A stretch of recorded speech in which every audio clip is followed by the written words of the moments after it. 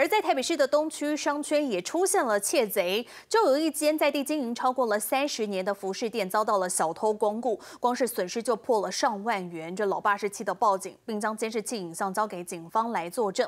事后，警方通知嫌犯到案说明，他才肯将物品全部归还，又赔偿了一笔钱来和解，得不偿失。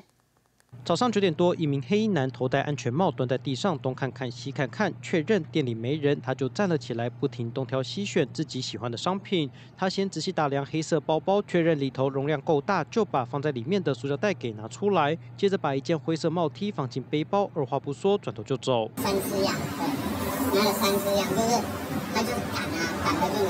短短五分钟内得手上万元的商品，黑衣男子心满意足走到机车旁边，打开坐垫，把偷来的所有物品全部放进车厢。卖场他们有的也是会排外面特价的东西，那问题是你不能说没有人看到你就拿，抓到每次都来讲说啊对不起啊。但夸张的是，他偷来的东西实在太多了，车厢还一度放不下，嫌犯只好打开车辆后方的置物箱，才终于把所有物品藏了起来。接着油门一吹，骑车离开。有十台，但是有的有一两台坏掉，那像撞坏的，我正在修理。光天化日之下损失破万元的财物，老板痛批实在太夸张，立刻报警处理。但就怕小偷再次上门光顾，自己又加装了八支监视器，仍旧防不胜防。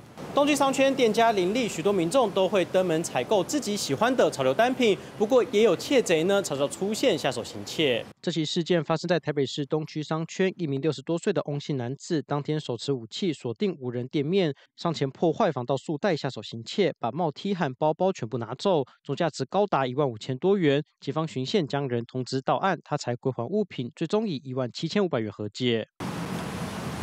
自以为神不知鬼不觉，没想到偷窃行为全被监视器掌握，还差一点就被以窃盗罪起诉。一时想占便宜，反而损失更大。记者王俊姚家电台报道。